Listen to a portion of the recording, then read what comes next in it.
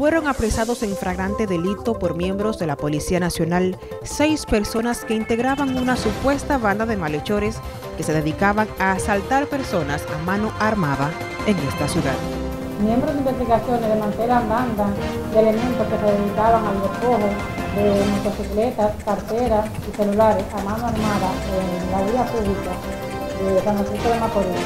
Los detenidos fueron nombrados a Mauricio Rafael Reyes Fabián, alias Clemen, eh, Joel Salazar, Luis alias Carabetino, Ronald Antonio Rosario, Manuel Rodríguez Valera, alias Tito el Gordo, y Robinson Rosario Cortina, todos residentes en el sector Valle de esta ciudad.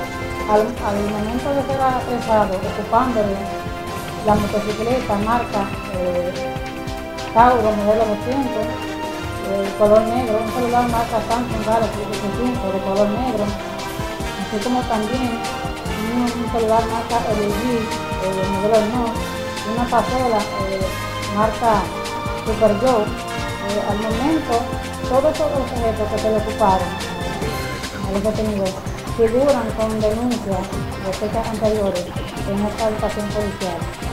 Todos se encuentran en la comandancia policial para ser puesto a disposición de la justicia. Para NTN, Joanny Cordero.